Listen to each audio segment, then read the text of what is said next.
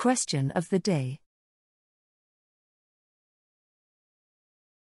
Which of the following communications is an employer legally required to inform employees?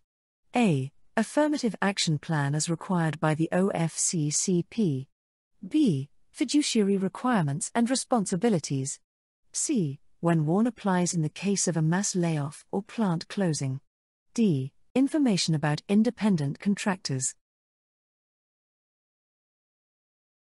The answer is C. The Worker Adjustment and Retraining Notification Act, WARN, requires a 60 days advance notice to be given to employees and their union representatives in a mass layoff or plant closing.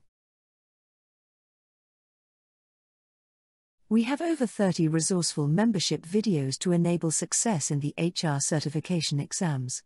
PHR, SPHR, SHRM-CP, SHRM Be sure to join the membership of this channel.